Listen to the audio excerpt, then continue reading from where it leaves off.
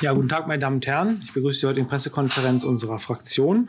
Mit mir dabei unsere parlamentarische Geschäftsführerin Christine Wernicke. Nach der gestern erfolgten, durch den Landesverband vollzogenen erfolgreichen Einreichung der Volksinitiative Erschließungsbeiträge abschaffen, hoffen wir als Fraktion natürlich darauf, dass hier im Landtag eine zügige Behandlung und Beratung dieses Themas erfolgt, um eine inhaltliche Abstimmung noch vor der Sommerpause zu ermöglichen. Ähm, das nur als ergänzender Hinweis für gestern, wenn jetzt der planetarische Beratungsweg losgeht. Wir gehen davon aus, dass bereits nächste Woche auf dem Hauptausschuss auf der Tagesordnung stehen wird zur weiteren Befassung. Und die Unterschriften reichen ja auch bei weitem aus mit über 32.000.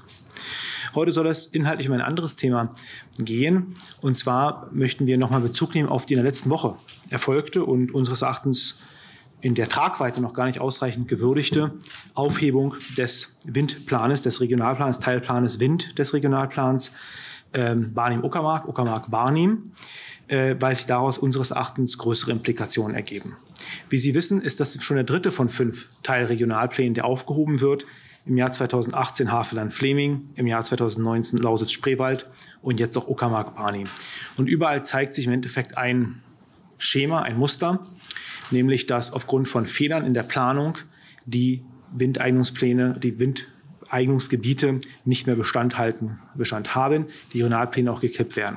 Wir als BVB Freie Wähler begrüßen diese Entwicklung, weil wir natürlich dafür werben, dass in den regionalen Planungsgemeinschaften eine präzisere Auseinandersetzung mit umweltschützerischen Aspekten, auch mit Aspekten, mit Anliegen der Anwohner umgegangen wird und die auch stärkere Berücksichtigung finden. Deswegen ist unser Punkt, dass nach dieser erneuten Aufhebung die regionalen Planungsgemeinschaften anfangen müssen, stärker vernünftige Abwägungen vorzunehmen. Wir erleben es viel zu häufig, dass nur die Planungsziele aus Potsdam eins zu eins umgesetzt werden, dass keine ausreichende Transparenz hergestellt wird, keine ausreichende Debatten und Diskussionen stattfinden unter Einbindung auch von Bürgerinitiativen, von Umweltverbänden, von Anwohnern dass kritische Hinweise aus der Bürgerschaft nur zu unreichend, nur unzureichend Einf äh, Einfluss nehmen in die Ausgestaltung. Das Ergebnis ist dann, dass die Dinge mit großer Mehrheit durchgewunken werden und dann von den Gerichten gestoppt werden. Wir freuen uns darüber, dass die Gerichte hier so kritisch draufschauen, erwarten aber für die Zukunft eine stärkere Berücksichtigung des Flächenfaktors, eine stärkere Berücksichtigung auch der Waldkriterien, eine stärkere Berücksichtigung auch des Vogelschutzes und insbesondere des Anwohnerschutzes, um für zukünftige Planungen hier ja, mehr Restriktionskriterien, mehr Ausschlussflächen auch zu definieren, um diesem weiteren Entwicklung von mittlerweile 4000 Windrädern auch etwas entgegenzusetzen. Die Angelegenheit hat allerdings noch weitere Implikationen und hierzu wird Christine Wernicke Ausführungen machen, insbesondere im Hinblick auf das Märchen, was verbreitet wird, dass man jetzt überall Windräder bauen könnte. Ja, vielen Dank auch für mir herzlich willkommen. Es ist tatsächlich so, äh, was auch ich nicht erwartet habe, kaum war der Regionalplan gekippt, war das negative Urteil da, äh, zogen die Windkraftbauern äh, durch die Uckermark, um dort neue Wind äh, neue Abstimmung für Windenergiefelder zu, zu treffen. Äh, es ist richtig, dass wir von BVB Freie Wähler begrüßen, dass der Regionalplan gekippt wurde. Man darf auch nicht übersehen, dass er aus formellen Gründen gekippt worden ist. Das Gericht hat sich also mit, der In, mit dem Inhalt des Regionalplanes noch gar nicht befasst und deshalb kann man auch nicht davon ausgehen, dass das zutreffend ist, was im Regionalplan steht.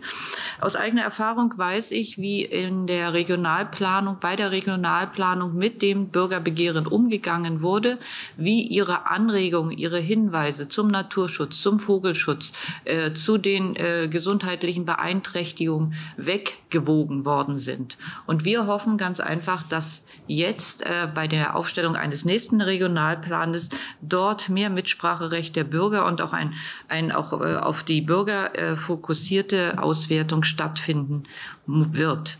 Wie wir wissen, ähm, muss das ähm, muss die Regionalplanung nach dem äh, Gesetz zur Regionalplanung und zur Braunkohlensanierungsplanung unverzüglich einen neuen Re Regionalplan, ein neues Verfahren beginnen und einen neuen Plan aufstellen, ähm, sobald nämlich die, äh, die Entscheidung des Oberverwaltungsgerichts veröffentlicht ist. Wir hoffen, dass das auch die regionale Planungsstelle so sieht, die ja schon angekündigt hat, dort bräuchte sie mehrere Wochen und Monate, um ein neues Verfahren zu starten. Nein, es ist ein gesetzlicher Auftrag, das sofort zu machen. Unverzüglich steht im Gesetz. Und dafür werden wir. In dem Zusammenhang begrüßen wir auch das Urteil des äh, Europäischen Gerichtshofes zum Vogelschutz, äh, nachdem ähm, doch überraschend für alle, äh, dass äh, EuGH entschieden hat, dass ähm, jeder Vogel zu betrachten ist, ob er äh, ein Tötungsrisiko hat und nicht, ob die Population insgesamt in Deutschland ein Risiko hat. Auch das finden wir ein sehr gutes Urteil, ein, gerade auch für den Natur- und Umweltschutz in Brandenburg ist es auch sehr wichtig. Äh, wir haben ja jetzt in den letzten ähm, Wochen sehr viel darüber berichtet, dass wir mittlerweile feststellen, dass ähm, äh, vom Landesamt für Umwelt auch äh, Windkraftanlagen in Wäldern genehmigt werden. Wir haben also auch mal analysiert, wie viele Windkraftanlagen ohne Umweltverträglichkeitsprüfung seit 2019 äh, ja, genehmigt werden. All dies wird Thema des Landwirtschaftsausschusses sein in seiner übernächsten Sitzung. Also von daher äh, begrüßen wir dieses Urteil außerordentlich und wir in diesem Zusammenhang und im Zusammenhang mit der aktuellen äh, Diskussion auf Bundesebene äh, schlagen wir auch vor, dass man sich auch im kommunalen Bereich äh, Gedanken macht um ein Lobbyregister. Auch dort sollten die äh, die Unternehmen angeben müssen, mit welchem Entscheidungsträger sie gesprochen haben. Denn wir verzeichnen, wie gesagt, jetzt eine massive also ein massives Aus Aufsuchen von Bürgermeistern, Ortsvorstehern, die äh, vorhabenbezogene Bebauungspläne in ihren Gemu äh, Gemeinden auf den Weg bringen sollen, äh, mit der wirklich fadenscheinigen Begründung, dass ansonsten ein Wildwuchs nach 35 Baugesetzbuch passieren wird. Das Erstmal ist es unredlich, weil es sind falsche Aussagen, denn unabhängig davon, ob wir einen Regionalplan haben oder nicht, gelten die Gesetze. Ja, und wir haben die TA Lärm, wir haben die Abstandskriterien bei äh, bestimmten Vogelarten zu beachten. Äh, es gilt, gilt ganz normal das Baugesetzbuch und da kann also auch nicht einfach äh, näher an die, an die Häuser rangebaut werden, an die Wohnung, an die Wohnsiedlung rangebaut werden. Äh, denn äh, ich habe es auch eigene Erfahrung, äh, diese neuen Anlagen, 230 Meter, sind so laut, dass sie herunterreguliert werden müssen, um überhaupt der Prognose, die beim Bau ausge, äh, ausgegeben worden oder die genehmigt wurden, einhalten zu können. Gibt es in Bernau auch ein ähnliches Beispiel? In der Uckermark gibt es auch solche Beispiele. Also die Sorge oder die Drohung, ähm, dass äh, mit dem Wegfall der Regionalplanung ein Wildwuchs ähm, von Windrädern passieren kann, äh, können wir nicht nachvollziehen, denn rechtliche Regelungen stimmen, stehen dem entgegen. Dankeschön. Ja, vielen Dank. Ähm, Ihre Frage, bitte schön. Ähm, wer soll alles rein, das Lobbyregister? Also wir sind ja viele, unter anderem sind ja Umweltschützer dazu. Also wer soll da alles rein? Also wir würden da keine, keine Auswahl treffen. Jeder, der sich an Entscheidungsträger wendet, aus welchem Grund auch immer, müsste in so ein Lobbyregister. Ja, also das nur zu sagen, die einen äh, würden Einfluss nehmen, die anderen nicht, das kann man nicht sagen. Es ist ja immer unterschiedlich, welches Bauvorhaben oder welche Intention dort gerade in der Gemeinde herrscht. Weitere Fragen, bitteschön. Herr Hebel erstmal. Ähm, wie bewerten Sie die Impfstrategie des Landes und wie bewerten Sie die 200er Inzidenzdiskussion? Gut, ähm, dann vielen Dank. Dann können wir gerne zu dem, zu dem Thema kommen. Also zunächst können Sie sich vielleicht erinnern an die Sondersitzung vor einigen Wochen, wo wir für der Unwissenschaftlichkeit gescholten worden sind, als wir uns erlaubt haben, einen Drei-Stufen-Plan vorzulegen mit 35, 65 und 100er Inzidenz. Da wurde vor allem die 65er Stufe als absolut äh, äh, Hexenwerk dargestellt und als absolut unverantwortlich dargestellt. Wir haben das damals zur Kenntnis genommen, der Antrag wurde abgelehnt, so läuft die Choreografie hier. Dass dann aber zwei Wochen später im Rahmen der Kanzlerberatung die 100er Notbremse definiert wird, war schon für uns ein überraschender Punkt, insbesondere, dass der dann auch vom, von der Landesregierung so verteidigt wurde und dass dann wenige Tage später die Notbremse verdoppelt wird auf 200, ist sehr interessant vor dem Hintergrund, mit welch einer Empörung man die 65er und 100er Stufe, die wir geregelt hatten, äh, äh, gescholten hat. Und das sollte uns zu denken geben, dass das, was auch mein Kollege Steffke in der letzten Sondersitzung, an der ich nicht teilnehmen konnte, gesagt hat, wenn wir gemeinsam Lösungen finden wollen, kann es nicht sein, dass Zahlen, die ja nun wirklich nicht, also eine 100 ist eine 100, eine 200 ist eine 200, das ist also nicht meinungsabhängig, wie diese Zahl zu definieren ist, dass die einerseits gescholten werden und eine Woche später als die Erkenntnisse in den Raum gestellt werden. Wir begrüßen, dass die Landesregierung Brandenburg hier offenbar etwas großzügiger verfahren will als der Bundesdurchschnitt. Das ist auch richtig. Das ist auch angesichts der wirtschaftlichen Belastungen und der auch psychischen Belastungen und gerade für die Vereine äh, eine, eine gute Sache. Wir würden uns wünschen, wenn das in einer Weise geschieht, dass man nicht erst darüber zwei, drei Wochen lang Pirouetten im Landtag drehen muss, bis man zur Erkenntnis kommt, jawohl, unter Hygienekonzepten mit Augenmaß kann man bestimmte Öffnungen vornehmen. Und dafür waren wir ja auch immer gewesen. Insofern finden wir das gut.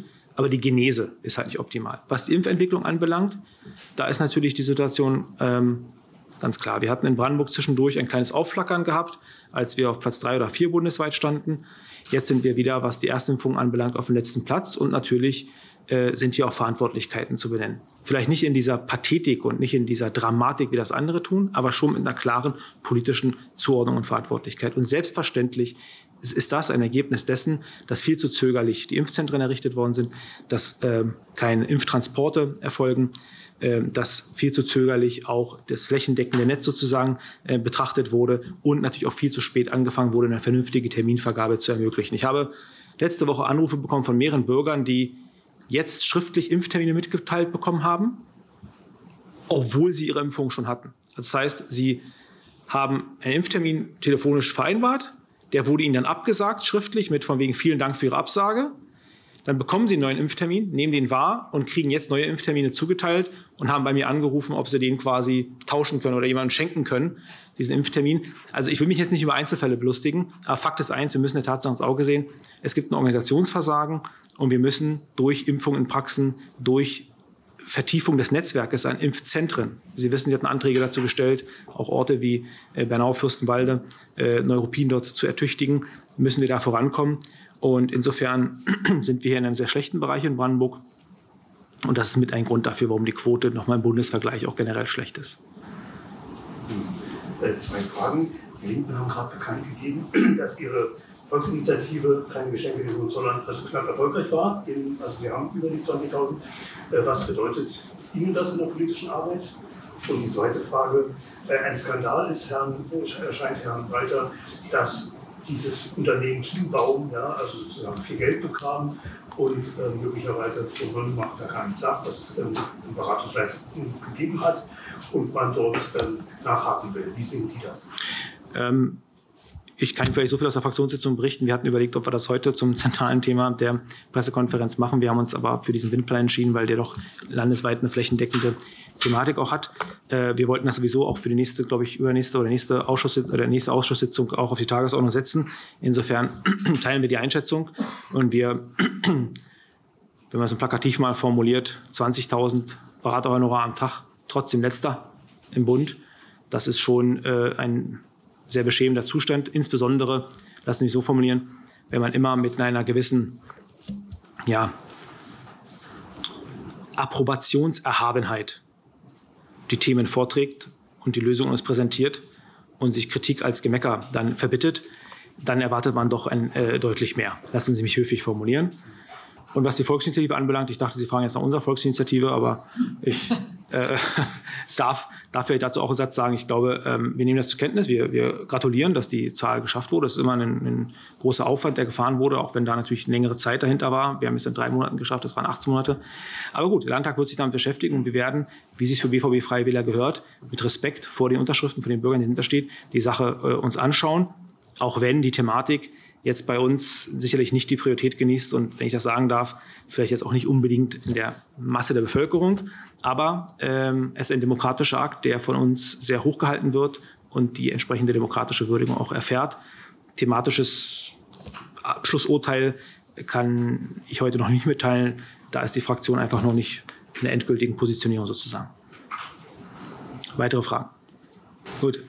Ähm, also da würde ich gerne nochmal die von meiner Kollegin unterstrichene Lobbygrista Ihnen nochmal wirklich in, in, in, in, noch mal ans Herz legen, auf Kreisebene, auf kommunaler Ebene anzulegend, nach dem Vorbild des Landtages, ähm, weil wir glauben, dass gerade bei den regionalen Planungsgemeinschaften, wo Landesaufgaben erfüllt werden, das dürfen wir nicht vergessen, von denen es auch nur fünf gibt, wir, glaube ich, und unter sehr geringer Teilnahme der Bevölkerung erfolgt, wir doch eine stärkere Kontrolle und auch eine stärkere Nachvollziehbarkeit der Entscheidungsfindungen brauchen und nicht nur alle Jubeljahre, wenn es dann heißt, oh, das Gericht hat gesprochen, was denn da passiert.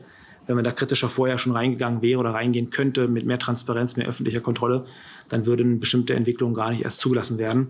Und es hat für das gesamte Land eine derartige Auswirkung, es wird eine etwas trockenere Materie, aber eine sehr dramatische Auswirkung, die wir immer hier ins Vorderhirn holen wollen. Und insofern äh, könnte das ein Schritt sein, wie wir hier auch in der öffentlichen politischen Diskussion dem mehr Transparenz auch zukommen lassen. Und deswegen unseres Erachtens nach diesen Entwicklungen dringend gebraucht wird. An dieser Stelle können Sie Ihre Zustimmung signalisieren. Dankeschön. Ich danke für die Aufmerksamkeit und wünsche einen schönen Tag.